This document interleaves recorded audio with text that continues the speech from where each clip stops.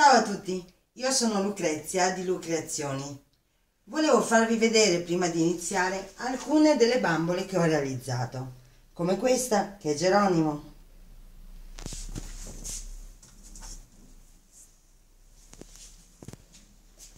Come questa che è particolare, i dentini, le sue ciglia, le bambolette, gli accessori. E poi queste, come potete vedere, è una panoramica di quella nella nostra postazione di lavoro. Innanzitutto dovete sapere quale materiale vi servirà per incominciare a lavorare. Ecco l'elenco. Vi serviranno un cartoncino, un compasso, delle ciglia finte, potete trovarlo in un qualsiasi negozio, anche di quelli che ci sono oggi dei cinesi, dei colori acrilici, sicuramente bianco e nero, che ci serviranno per gli occhi, il rosso per la bocca e per quanto riguarda l'iride degli occhi dovete scegliere voi se preferite avere l'azzurro, il verde o il marrone. Ci serve del filo da pesca resistente. Una marca vale l'altra. Non ha importanza, ma vi spiegherò che ci servirà ed è molto importante utilizzare questo filo. Un altro si romperebbe del filo rosa che ci servirà per chiudere ogni imbottitura, degli aghi di svariate misure perché ogni ago ha una funzione diversa.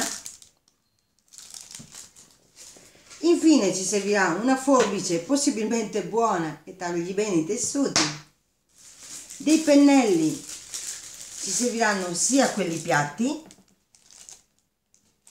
che quelli specifici per le pitture delicate a puntiti. Questi sono molto importanti perché è da questo che deriverà il risultato degli occhi della vostra bambola. Dei trucchi che vanno nelle tonalità del rosa, viola e poi vi spiegherò il perché. Un passettino alla volta. Ma una cosa importante è della lana per realizzare i capelli un tessuto pie o comunque elastico per realizzare i berretti, gli abitini, le braccine, vedete che è facile da tirare? Poi ci servirà anche dell'ovata, semplicissima, quella che si trova all'interno dei cuscini, oppure la potete trovare al chilo in un negozio qualsiasi di scampoli. Ci servirà anche della maglina, un altro tessuto elastico e lucido che ci servirà per realizzare il viso, le mani, i piedi e il naso. Ecco, amiche mie, questo è il materiale che ci servirà. Adesso passiamo a realizzare la bambola passo per passo. Eccoci, ora che abbiamo avuto la lista del materiale che ci serve possiamo iniziare a realizzare la nostra bambola. Prendiamo il cartoncino con il quale realizzeremo la base per tagliare tutte le teste delle nostre bambole. Facciamo con il compasso un raggio di 8 cm e mezzo, più o meno io realizzo le mie bambole intorno a una testa di 17 cm di raggio, anzi di diametro. In questo caso utilizzeremo solo il raggio. Eccolo qua 8 cm e mezzo.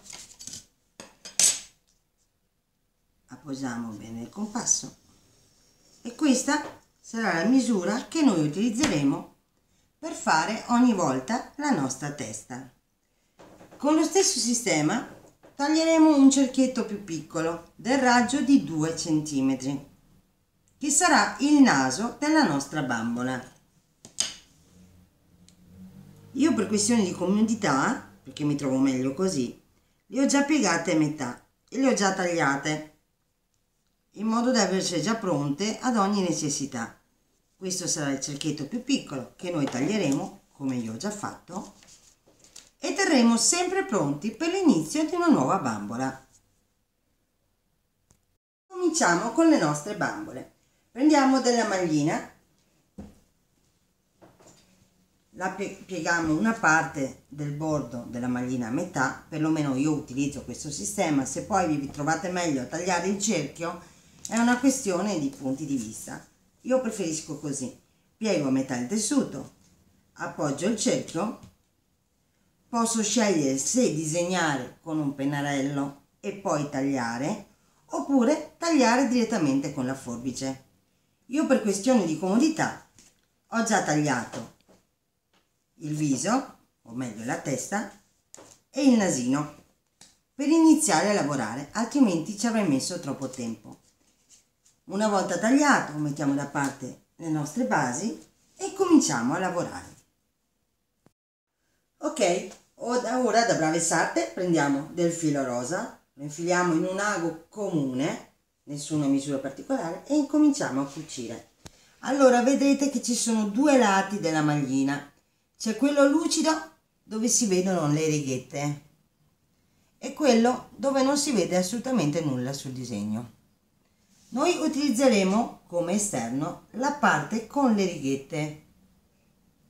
Perciò incominceremo a cucire il più vicino possibile al bordo, in questo modo.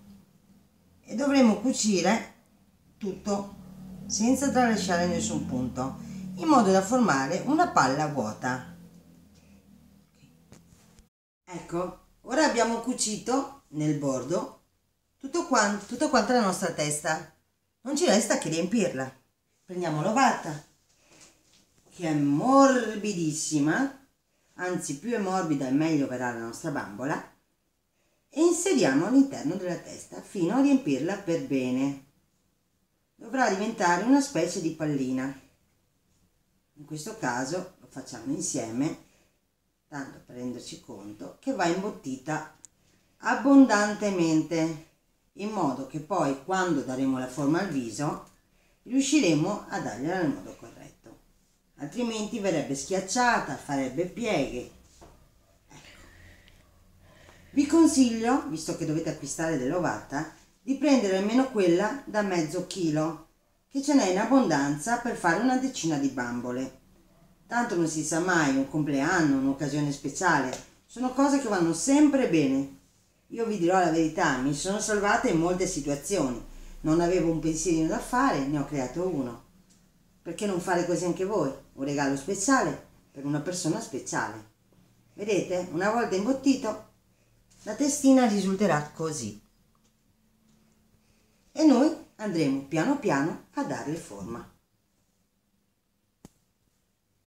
Ok, ora spostiamo gli, gli spilli che non ci servono più. Ancora con il filo da pesca noi entreremo all'interno della nostra testa e usciremo nel punto esterno della bocca. Mi direte perché? Perché quando si parla di bocca si parla anche di labbra e se non facciamo le labbra non saranno visibili e non potremo dipingerli dopo.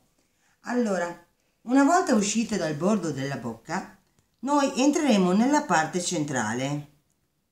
La vedete? All'interno della bocca. Usciremo da qua. Vedete? Una cucitura secca. E già il labbruccio comincia a formarsi. Usciremo a fianco al punto che abbiamo appena fatto per, e Praticamente le espressioni sono tutte un intreccio del filo da pesca. Senza filo da pesca la bambola non avrebbe espressioni. Non è complicato, però se non c'è non dà lo stesso effetto. Eccomi qua.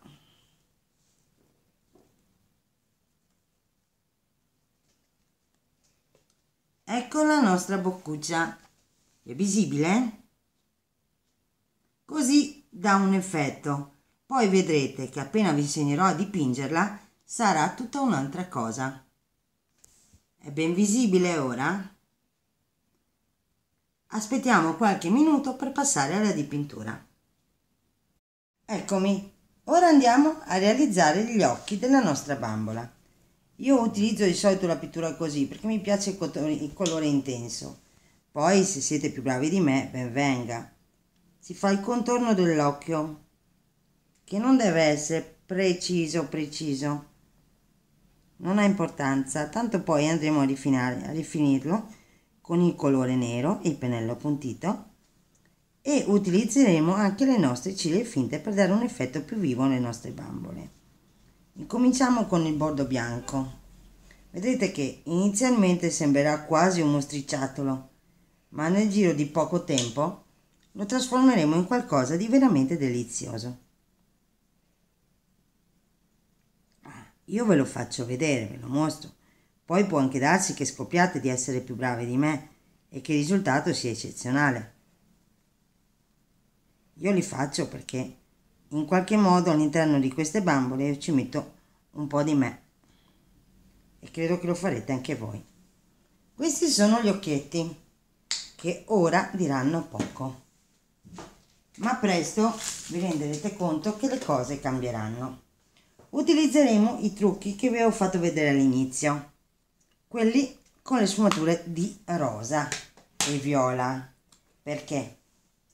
Vi spiego subito per quale ragione.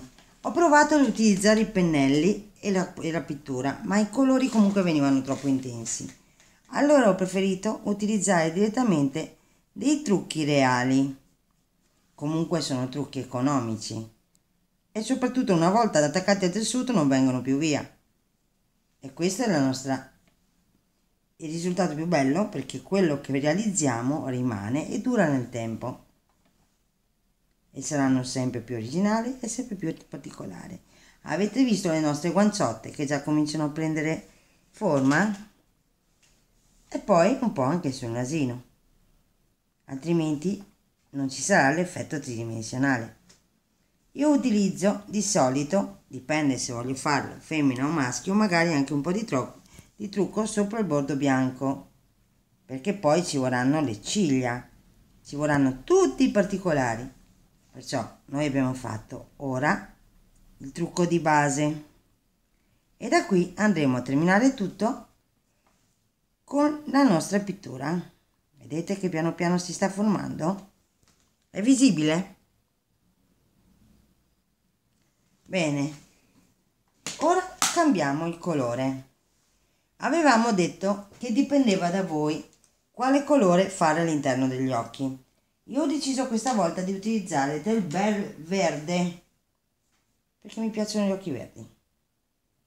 Ok, realizzeremo l'iride dell'occhio che va tassativamente rotondo. Non c'è bisogno di avere fretta, tanto nessuno vi sta seguendo. Nessuno vi dà fretta in modo da non rovinare nulla di quello che state facendo. Ricordate che in qualsiasi lavoro l'importante è la passione che ci mettete. Che più ci metterete passione e più bello sarà il risultato. Io ho iniziato così, proprio per gioco, per passione di mia figlia. Ho insegnato a lei e man mano che insegnavo a lei piaceva sempre di più a me. Io ho iniziato a realizzare queste bambole che non esistono da molto. Sono nate nel 2013, perciò soltanto tre anni fa.